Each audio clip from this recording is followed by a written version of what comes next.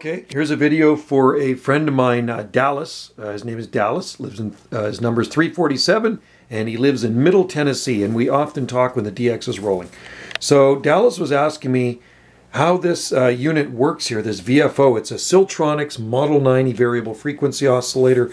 I bought it in the spring of 1981, used, so it's pretty old, and it's hooked up to a old realistic TRC 48 single sideband radio, which is 23 channel crystal, circa 1975.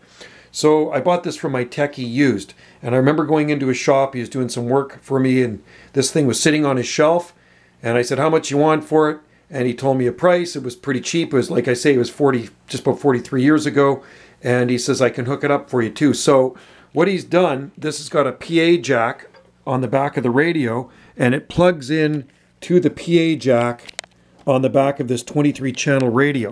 So this has CB and HF mode. So this big dial is the hard tuning and it goes down to 26 uh, goes down to about 26 uh, 905 okay goes down to 26905 so it takes the 23 channel radio and it gives you a lot of extra channels so you set this radio on channel 23 this plugs into the PA jack and then you turn it on. So now we're on 26905. Uh, and then if you put it into the HF band, see that little switch there? That was HF. HF band, that was CB band there. See it says CB and HF. HF, it'll take you all the way up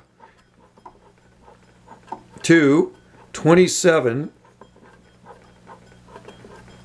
I think it's 840 or something like that. Yeah, uh, around 27, maybe 835, something like that.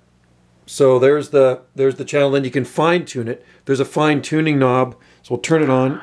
I don't think there's anybody on right now. So what it does, it just gives you a lot of extra frequencies. It turns a 23 channel radio into a channel with free band on it. So it'll go up above channel 40 and it goes down below channel 1 so that's the hard tune dial right there. And this one's for fine tuning. The black black one right here. Right? And yeah you can still use the clarifier but I mean you can go up and down and all around with this thing. So I've been talking on a lot. I got a little kicker on top one of those little RM uh, boots.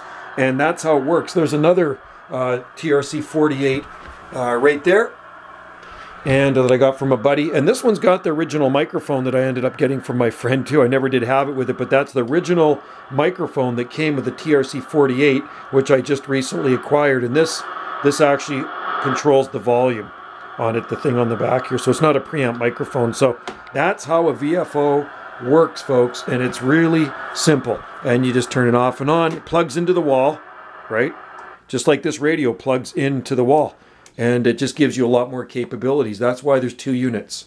All right. Without that, it's just going to be a 23 channel. With that, it goes up to around, you know, like 27840, and then it goes down to uh, 26905 uh, or something like that. All right. Thanks for watching.